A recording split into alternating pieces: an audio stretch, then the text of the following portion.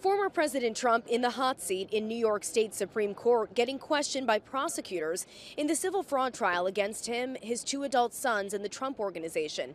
The tension rising in the courtroom, Trump giving lengthy responses on the witness stand. Judge Arthur Engoron getting increasingly frustrated, saying Trump was not answering the questions from prosecutors.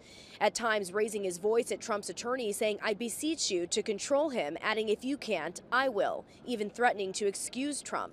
He also struck out some of Trump's answers from the record.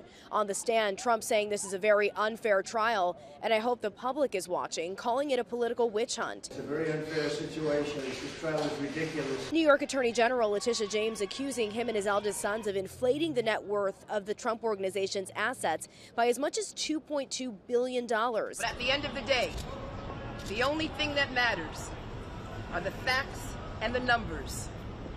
And numbers, my friends, don't lie. The judge has already agreed that James has proved her case on the key issue of fraud, determining Trump overvalued those assets for a decade to get better terms on loans and insurance. In court today, Trump admitted to overvaluing two properties, but claimed that those numbers were later corrected on financial statements. Overall, Trump denying any wrongdoing.